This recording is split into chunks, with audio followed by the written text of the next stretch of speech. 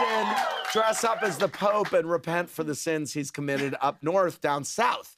Or down south, he's got still got a lot of apologizing to do, but now it's time for the ladies to make some confessions in a game of Who's Guilty of Sin.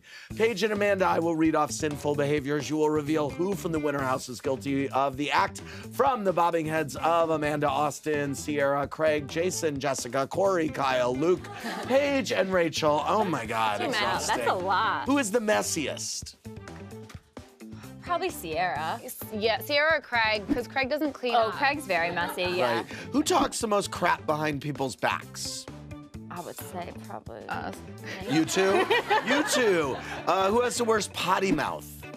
oh, um, I have a bad, I have a potty mouth. yeah. Um, who is the rudest to fans? Anyone here? no, no one, one in here. that. No one in that group. Yeah, no. Okay, who's jumping out at your head? Oh, Anthony. Lindsay. You're gonna. Lindsay. I didn't say that. Amanda just nodded. Yes, yes. It's Lindsay. Yeah, she can be. Yeah. Really? Yeah, From Wow. my experience. Girl, you're gonna get an uncomfortable Rude. Listen. I will, but Did you see that at BravoCon at all? no, she was wonderful at BravoCon. It's Okay. been more, you know, caught off guard. Interesting. Okay. Who can't be trusted with a secret? Amanda. That's not a secret. Um, who is the laziest?